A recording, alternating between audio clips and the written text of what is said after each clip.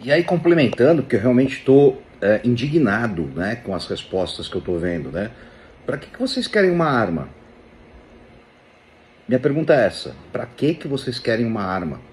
Provavelmente eles vão ficar com a arma no coldre e não vão ter a coragem de sacar essa arma no momento correto e oportuno.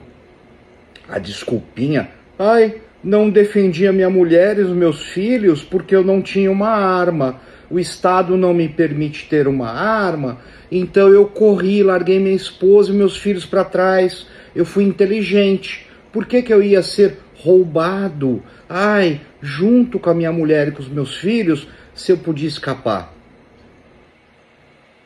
É simplesmente assustador. Eu continuo cada vez mais assustado. Vocês tiveram, vocês sofreram lavagem cerebral, né, e nem perceberam. Vocês se tornaram fracos, covardes, pusilâmines, uns bostas, uns cagões.